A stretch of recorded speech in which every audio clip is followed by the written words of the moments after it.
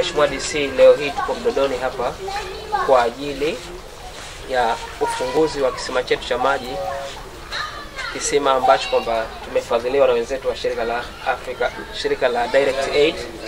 Tulikuwa tuna shida sana, tukapeleka kilio chetu kupitia Mheshimiwa mwakilishi jimbo la Konde, naye akatupa ahadi ya kutafutia ufadhili, na alhamdulillah wafadhili wakaitikia, wakaitikia leo wapo na ni siku adhimu, ni siku tulikuwa tunaingojea kwa hamu wananchi wa Dodoni pia kufunguliwa. Kwa kweli hatuna budi kumshukuru Mwenyezi Mungu kwa kutujalia tukaweza kukutana hapa katika jambo hili adhimu, lakini pia tunapenda sana tuwashukuru wafadhili wetu Direct Aid kwa kuendelea kutusaidia, kwa sababu huu tunaamini kwamba sio msaada wao wa mwanzo, wanaendelea kutusaidia. Kwa kweli tunapeleka shukurani za dhati kwenu kwa msaada mkubwa ambao mnatufanyia siku hadi siku, kuona changamoto ambazo zinawakabili wananchi wa wilaya Micheweni kuweza kuzitatua.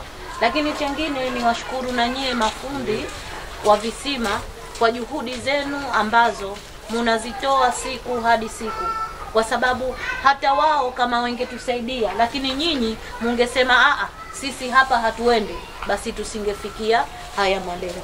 Lakini jengine pia napenda niwashukuru na nyinyi wananchi wenzangu kwa ustahamilivu wenu mkubwa.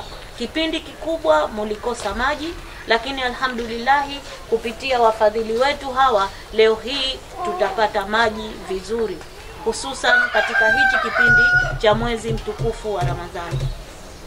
Sisi wilaya tumefarajika sana na tumefurahi sana kitendo hichi ambacho Direct Aid ambacho wametufanyia.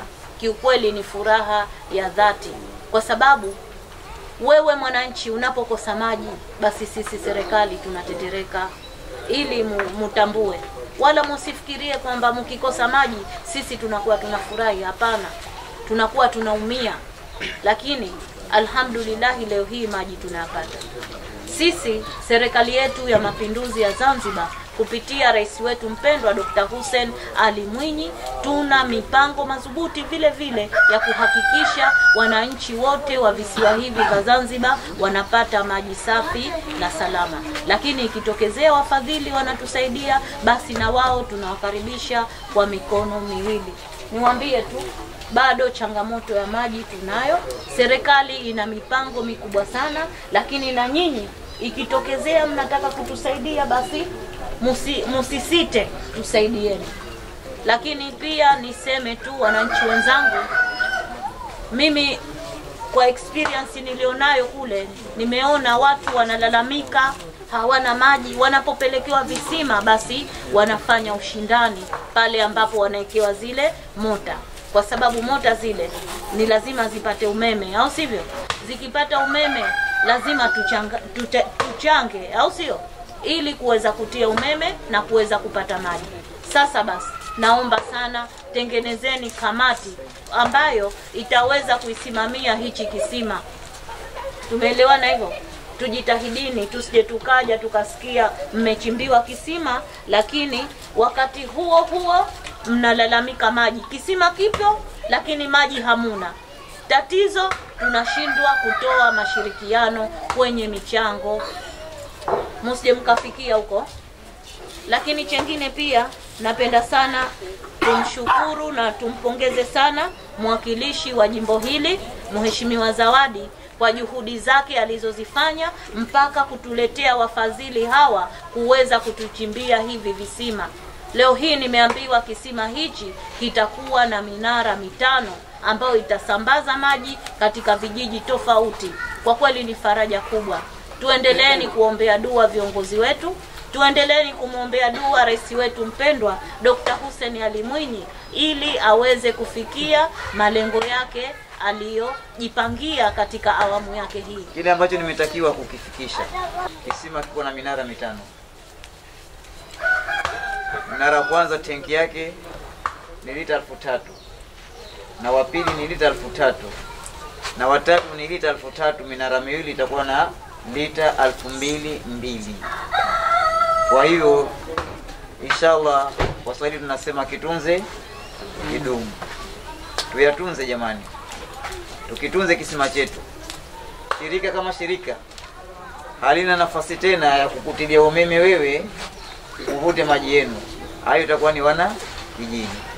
Sasa ni hivi, ndani ya miezi sita kuanzia leo, ndani ya miezi sita kuanzia leo ambapo tunakabidhiana, kama kutaharibika kitu chochote ndani ya miezi sita, shirika linachukua dhamana ya kutengeneza